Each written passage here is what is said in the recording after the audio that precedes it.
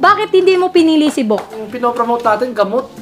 Tapos naman may sakit yung kukunin nyo. Wala eh, ganun talaga. Pagka medyo may itsura, ano, bakit kaya? Yun, meron kasing sina- may sinabi si Brand na mag-send ng tatlong picture na makakasama ni makakasama ni Dad dito sa commercial na to. So, ang sinad ni Madam is si Carding, si Terry and si Bok. Ang napili is si Carding at Terrio lang. Kasi gamot-gamot kasi yung brand.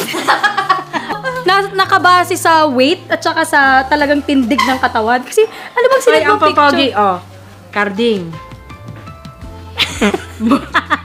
ang papagi nila dyan. Hindi nila pinili. Bakit ayaw nyo ng live, Dinip na ano, ako ng pa. camera 360? Tingin mo, Bok, bakit kaya? Ha? Bakit kaya? Di ko nga alam eh. Siguro pinutol na yung PLDT. Hindi, yung nangyari sa'yo, Tat. Bakit kaya? Yung alin ba?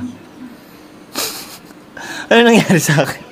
May nangyari ba sa akin na hindi ko alam? Ano ba? Hindi nila pinili si Bok, Dad. Ano masabi mo? Kung ikaw ang owner, bakit hindi mo pinili si Bok? Yung pinopromote natin, gamot.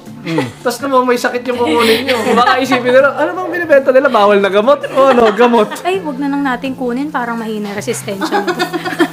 Parang kailangan nito ng combat rin. eh, wala eh. Ganun talaga. Pagka medyo may itsura, ano, ano? ninisan tabi. Ganun. Ah, bakit kaya?